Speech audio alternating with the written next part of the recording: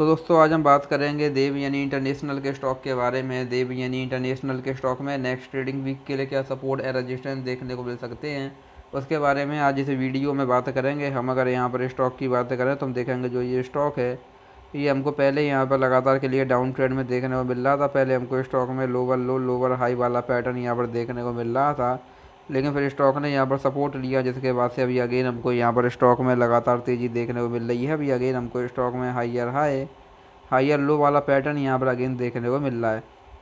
लेकिन आज हमको यहाँ पर स्टॉक में अराउंड फोर परसेंट की यहाँ पर गिरावट भी देखने को मिली है।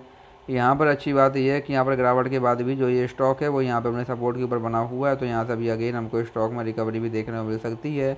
यहाँ से अगर अब स्टॉक में रिकवरी आती है तो यहाँ से अब रिकवरी की कंडीशन में हमारे पास स्टॉक में टू हंड्रेड फोर्टीन का पहला यहाँ पर रजिस्टेंस देखने को मिलेगा।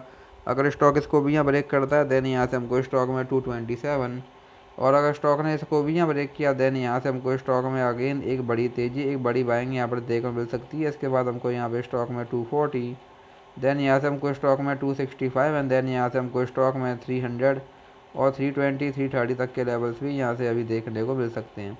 वही यहाँ से अब अगर स्टॉक में गिरावट आती है तो यहाँ सब गिरावट की कंडीशन में हमारे पास यहाँ पर अभी स्टॉक में।